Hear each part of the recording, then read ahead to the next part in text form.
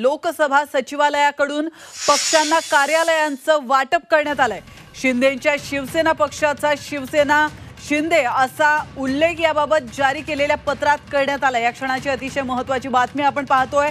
लोकसभा सचिवालयाकडून पक्षांना कार्यालयांचं वाटप करण्यात आलेलं आहे आणि महत्वाचं म्हणजे शिंदेच्या शिवसेना पक्षाचा शिवसेना शिंदे असा उल्लेख याबाबत जारी करण्यात आलेला आहे. या पत्रामध्ये नमूद करण्यात आलेला आहे. याविषयी अधिक माहिती देण्यासाठी आपल्या प्रतिनिधी उर्वशी खोणा आपल्यासोबत फोन लाईनवरून जोडल्या गेल्यात. उर्वशी लोकसभा सचिवालयाकडून पक्षांना कार्यालयांचं वाटप आणि शिंदे गटाचा शिवसेना शिंदे असा उल्लेख. नेमकी काय अधिक माहिती? एकनाथ शिंदेना शिवसेना पक्ष देण्याचा निर्णय निवडणूक आयोगाने घेतल्यानंतर पक्षाचा उल्लेख फक्त शिवसेना म्हणून केला जाय केला जावा असा शिंदे गटाकडून नेहमी आग्रही असतो. आणि असा एक उल्लेख पण आला होता आणि निवडणुका आयोगाने हे सांगितलं होतं.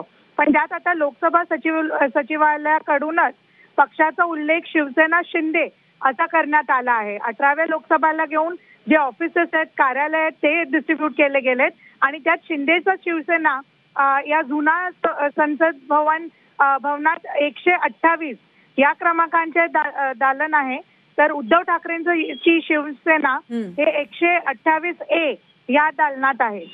तर असं हे पूर्ण आज- आजचं एक आपण बघितलं तर कार्यालय वाटप जे केलं गेलंय तर. एकशे अठ्ठावीस हे जुन्या सदनात शिव शिंदे शिवसेना यांचं आहे. आणि उद्धव ठाकरेचं एकशे अठ्ठावीस अ. असं करून आहे. पण नेमकं इम्पॉर्टंट या नोट घेण्यासारखं हे आहे की बिलकुल, शिंदे. शिवसेना याचा उल्लेख केला गेला आहे.